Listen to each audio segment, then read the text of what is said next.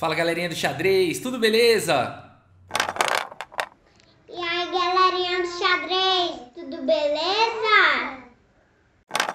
Tudo beleza? Pessoal, começou o Magnus Carlsen Invitational, aqui mais uma etapa do torneio Champions Chess Tour e a gente tem aqui esses grandes jogadores do mundo inteiro, Levon Arorian, jogando pelos Estados Unidos agora, o Davi Anton Gujarro, o Teimur Rajabov, Guiri, o Nepomiati, Dubov, Magnus Carlsen, o MVL, o francês perfumado, Wesley So, Jordan Van Forest, Ricardo Nakamura, o grande Ricardinho, o Alireza Firuja, o Mamediarov, o lenhador, o Cariaquim, Alan Peixoto e Nils Grandelius. Então a gente tem aqui é, 16 jogadores né, de alta categoria da elite aí, super grandes mestres, e a gente vai ter um torneio muito, muito, muito interessante. Bom, nessa etapa preliminar, o torneio consiste em 15 rodadas, todo mundo joga contra todo mundo uma vez, serão 3 dias, começou no dia 13, então serão os dias 13, 14 e 15 agora de março, é, com 4 rodadas aí por dia, 5 rodadas aí por dia, e após essa fase aí a gente tem as chaves, né, oitava de final, quarta de final, semifinais aí, final, tá bom?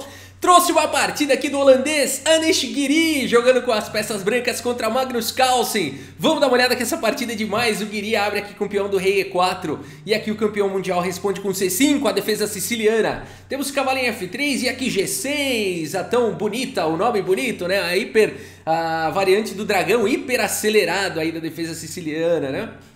Que história é essa, Rafael, de dragão hiper acelerado?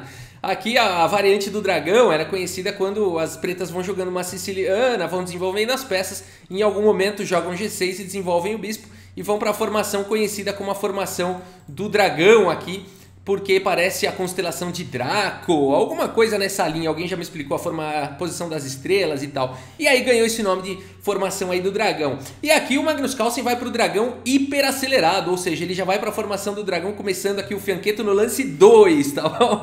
Então temos aqui D4 pelo Guiri, ah, C por D4, cavalo por D4, cavalo C6 e aqui C4, então pelo Guiri, dessa formação Maroxi que chama esses peões aqui em C4 e E4 na defesa siciliana. Cavalo em F6, atacando o peão central, cavalo C3 e agora D6 aqui pelo Magnus Carlsen. Bispo em E2, então aqui for, a formação né, do, do dragão Agora bispo em E2 e aqui cavalo por D4, trocando o cavalo central, dama por D4 e bispo G7. Com essa troca, o Magnus Carlsen fica preparando aqui o roque e ataques descobertos na dama no futuro.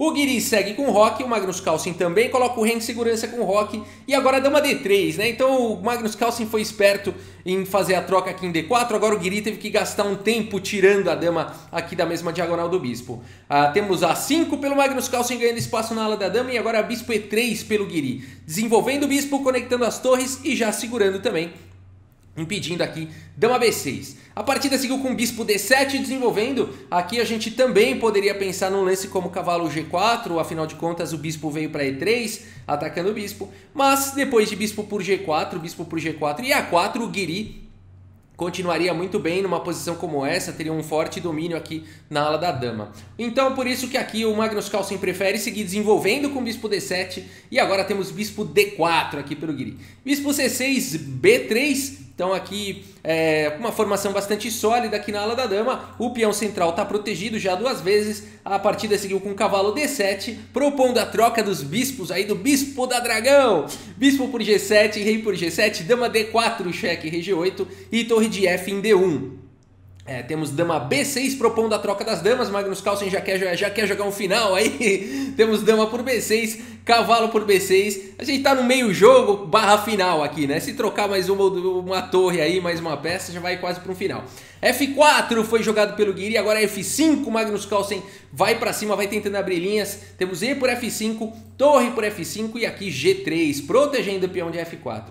G5, Magnus Carlsen continua tentando detonar aqui a cobertura de peões do Guiri. E agora temos bispo D3, olha aí o Guiri, que interessante esse lance, né? Se a torre sair daí, tá caindo o peão de G5, a torre tem que continuar defendendo o peão de G5, Magnus Carlsen coloca a torre lá em C5, bem arriscado, né? Bem perigoso, perigosa uma manobra dessa, mas por enquanto isso é possível porque o bispo está controlando bem aqui os saltos de cavalo, né?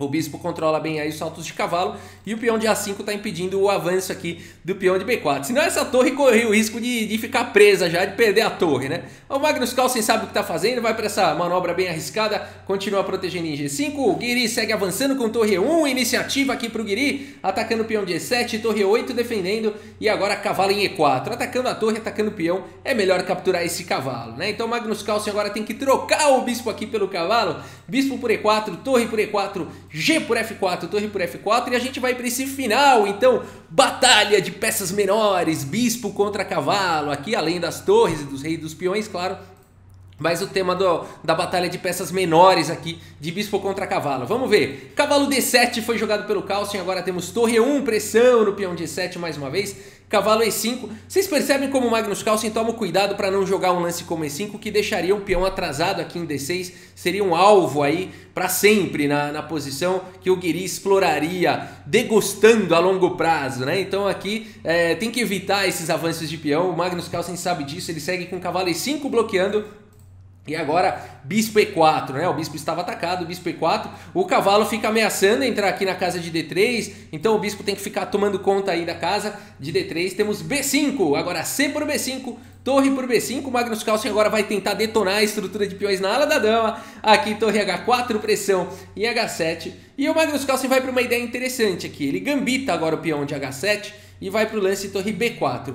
Uma outra possibilidade seria defender simplesmente o peão é, de H7 jogando um lance como é, cavalo G6, né? Esse lance pode parecer estranho porque permite, aqui permitiria bispo C6, o cavalo em E5 fica guardando essa casa, né?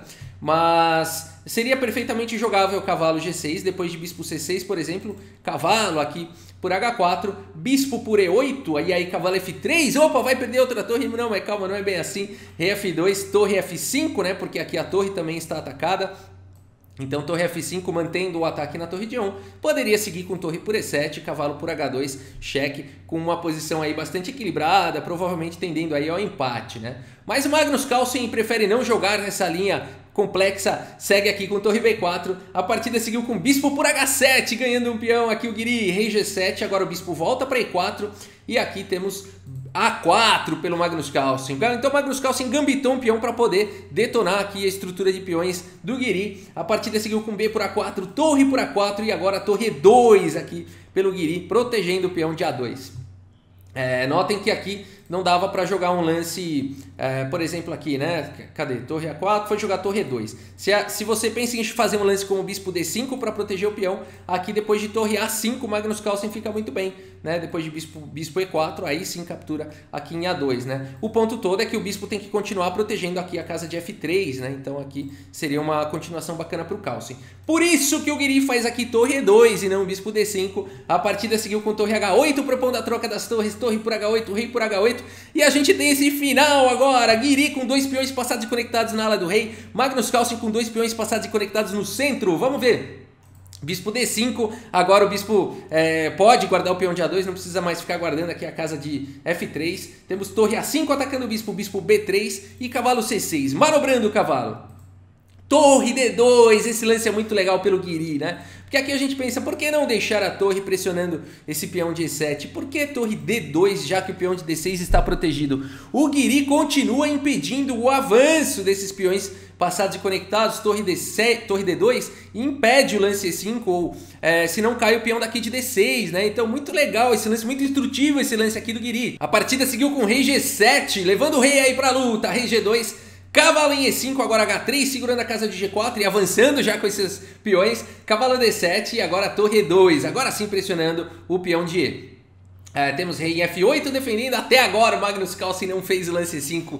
É legal de ver isso, né? Realmente E5 vai trazer problemas eternos aqui para a posição. Então agora torre F2, cheque, cavalo F6 e agora G4 ameaçando o G5. É, não agora, né? É verdade, mas enfim, avançando com esses peões aqui na ala do rei. A rei G7 foi jogado, torre F4, temos D5 avançando aí com os peões do centro, G5 atacando o cavalo, cavalo E4 contra-atacando agora o peão aqui de G5. E aqui, bispo por D5 pelo Guiri. Como assim? Essa, esse, esse, esse peão aí estava protegido. O problema é que ele é o defensor do cavalo, né? Então aqui o Guiri ganha um peão. Em tese, ganharia, né? Se torre por, torre por. Porque a torre ficaria ameaçando aqui em E7. Tudo bem, iria para alguma outra continuação aí. Talvez até é, equilibrada, né? Por exemplo, se torre por, aqui as brancas teriam torre por e depois de torre aqui por uh, G5 cheque, aqui depois de torre G4, o Guiri teria uma posição ganha, na verdade, né? Porque aqui forçaria a troca das torres e a gente tem um peão passado distante aqui para o Guiri que venceria o jogo, né? Então aqui bispo por D5 pelo Guiri, um excelente lance. O Magnus Carlsen não pode jogar isso, ele calcula tudo, percebe esse problema e segue aqui com cavalo por G5 capturando o peão. Temos aqui bispo B3, o bispo continua protegendo o peão de A2 e agora E5 avançando com o peão central. Notem que a gente perdeu, né? É, as brancas tinham dois peões passados e conectados na ala do rei, o Magnus Carlsen tinha dois peões passados e conectados na ala no centro, e isso virou apenas um peão passado para cada um, é, no centro e na ala do rei, mas o Guiri ainda tem um peão passado na ala da dama. Tá melhor pro Guiri! A partida seguiu com torre A4, propondo a troca das torres, torre C5, torre C4, propondo a troca de novo, torre A5, e aqui H4, expulsando o cavalo daí. Cavalo em E6, torre A4, mais uma vez tentando as trocas e aqui abrindo um ataque sobre o cavalo. Temos cavalo em F4, cheque salvando o cavalo primeiro. Agora rei em F3 e aqui torre C5 colocando a torre, mantendo a torre no tabuleiro. Torre C4 eu quero trocar, torre A5 não vai não. E agora torre C7 cheque. Tá bom, então eu vou pro cheque mate. Agora rei H6 foi jogado aqui pelo Magnus Carlsen. Aqui bispo C2 criando uma rede de mate, ameaçando imediatamente torre H7 com cheque mate. A posição é perigosa aqui. O Magnus Carlsen segue com torre A3 cheque. Temos rei G4 e aqui cavalo D3 com essa manobra. O Magnus Carlsen conseguiu bloquear o bispo. O Guiri segue com rei F5 e agora cavalo B4. Aqui, é, uma vez que o rei está bloqueando o próprio bispo, o Magnus Carlsen pega um tempo para atacar aqui o bispo do Guiri. Também pressão total em A2. O Guiri segue com bispo em E4 e depois de torre por A2 aqui, o Guiri vai para um lance de arremate. Se você quiser dar pause nessa posição e tentar encontrar aqui o próximo lance, o lance de arremate do Guiri vale a pena nessa posição. Muito bonito, somente um lance ganha aqui. Ah, e eu espero que você tenha encontrado aqui o lance Rei G4, o único lance que ganha, né? Rafael, Rei F6 também parece forte. É que Rei F6, o problema é que é, segue com Torre F2 cheque. E Rei G4 vem com a mesma ideia de dar checkmate e não existe Torre G2 por conta do bispo que está segurando essa casa, né? Por isso que depois de Rei G4, Magnus Carlsen abandonou aí a partida, né? Ah, Rafael, mas não dá, não dá para bloquear isso daí? Não dá para jogar cheque do mesmo jeito, né? Por que, que abandonou? Abandonou porque não dá mais, né, pessoal? Aqui realmente torre G2 cheque é o único lance que evita o checkmate imediato, mas enfim, não faz nenhum sentido você jogar com uma torre a menos é, contra o Guiri, né? Ou contra qualquer outro jogador desse nível. É, porque não vai vai perder, né? Vai apenas postergar o inevitável. Vamos dar uma olhada no relatório do chess.com e depois eu mostro a classificação no final do primeiro dia. Vamos lá. 97,2% de precisão para o Guiri, 89,6% de precisão para o Magnus Carlsen. Guiri acertou em cheio a mão aí, né? Fez muitos dos melhores lances, 35 contra 28 do Carlsen. Errou menos, né? Apesar de, dos erros aí dos dois lados. É, três imprecisões aqui para o Guiri, quatro erros. O Carlsen cometeu quatro imprecisões, três erros de uma gafe. Né? A gente vê que o gráfico aqui né, foi uma partida intensa, é a descrição aqui da Engine. E a gente vê que realmente foi isso mesmo, né? O Guiri aqui uma partida bem equilibrada, mas o Guiri nunca ficou pior nessa partida, né? E, mas foi bem intenso, em alguns momentos o, o Guiri tinha uma vantagem maior, acabou perdendo a vantagem, mas ele ficou sempre ali, né? Perdendo um pouco da vantagem e ganhando a vantagem de novo, né? Vamos dar uma olhada onde é que o Carlsen perdeu a mão e a classificação aí no final do primeiro dia, vamos lá. O Guiri faz o lance torre C7 cheque e aqui o rei do Magnus Carlsen joga para H6 e a gente tem uma rede de mate aí depois de bispo C2 e tudo mais, a gente viu o que aconteceu. Aqui talvez rei G6, olha só, faz diferença jogar rei G6 ou rei H6? Às vezes pode parecer que não, nesse caso faz toda a diferença. Joga um rei G6, aqui o rei fica segurando a casa de H7, depois de bispo C2 cheque, por exemplo, rei F6, torre C6 cheque rei E7, não tem mais rede de mate. As brancas têm um peão a mais, não existe milagre, né? Não daria para o Carlsen ficar ganho, mas ele ainda poderia brigar aqui, quem sabe jogar mais lances, brigar por um empate, não estaria levando checkmate, né? Então o problema todo aqui foi realmente o lance é, rei H6 que foi caindo numa rede de mate, mais uma vez bispo C2 e aí já era, né? Torre cheque, o rei sai, o cavalo cobre ali, ainda tentou alguma coisa, rei F5 exclama aqui. É, e agora, depois de cavalo atacando o bispo, simplesmente bispo aqui em E4, depois de torre por peão Aqui rei G4 com uma posição vencedora, né? Aqui torre por peão também foi um problema, né? Aqui talvez o Magnus Carlsen pudesse sobreviver um pouco mais também com o cavalo D3. Aqui sobrevive, né? Depois de bispo por D3, torre por D3. A gente tem um final melhor aqui para o Guiri, né? Talvez até vencedor. Joga um A4 aí, já estoura um A4. Mas não levaria a checkmate, né? Beleza, pessoal. Vamos dar uma olhada então agora na classificação ao final do primeiro dia. Vamos lá. Olha aí, Anish Guiri na primeira colocação, Magnus Carlsen aqui em segundo lugar, o Guiri invicto aí, o Magnus Carlsen é, perdeu apenas uma partida, três pontos e meio, e o Guiri então com quatro pontos aí, é, três vitórias e dois empates, é o líder por enquanto. No entanto, aqui como a gente falou, é uma etapa preliminar, né? Oito jogadores aqui passarão para as oitavas de final, tá? Então a gente tem aqui né, os oito primeiros, né? O Guiri, o Carlsen, o Aronian por enquanto, o Mamediarov, o MVL, Rajabov, Dubov e o Nakamura, né? Wesley Sou, Firuza, aqui mais para baixo, o Jordan Van Forest, o Nepo, o Guijarro, o Grandelli, os Cariaquim e o Alan Pichot, né? Agora, esse é o final do primeiro dia, né? A gente ainda tem mais dois dias aí de torneio, tudo pode acontecer. E a gente segue aí mostrando partidas aí do torneio do Grand Chess Tour. Tá bom, do Champion Chess Tour. Tá bom, pessoal, é isso. Se você gostou do vídeo, deixa sua curtida, deixa seu like. Se você gosta de vídeos de xadrez, inscreva-se no canal. E é isso, muito obrigado pela sua audiência. Um grande abraço para todos vocês e até a próxima. Valeu! No tabuleiro de xadrez